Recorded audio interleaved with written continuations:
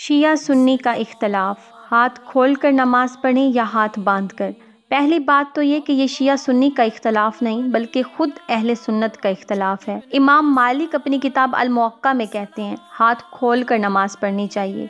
वो कहते हैं, इमाम अबू हनफिया ने गलती की कि हाथ बाँध के नमाज़ पढ़ने का हुक्म दिया। इमाम शाफी के यहाँ भी हाथ खोल कर नमाज़ पढ़ सकते हैं। इमाम अहमद बिन हम्बल के यहाँ लाजमी है कि हाथ बाँध के नमाज़ पढ़ें। ये शिया सुन्नी का इख्तलाफ नहीं, बल्कि खुद अहल सुन्नत का इख्तलाफ है। अब सवाल ये बनता है कि शिया हाथ खोल कर नमाज़ क्यों पढ़ते हैं? क्योंकि कुरान से, हदीस से ये कहीं नहीं मिलता कि रसूल अल्लाह ने हाथ बाँध कर नमाज़ पढ़ी हो, या हाथ बाँध के नमाज़ पढ़ने का हुक्म दिया हो। ये बात वाज है कि पैगंबर हाथ खोल कर नमाज़ पढ़ते थे। इसीलिए शिया भी हाथ खोल कर नमाज़ पढ़ते हैं।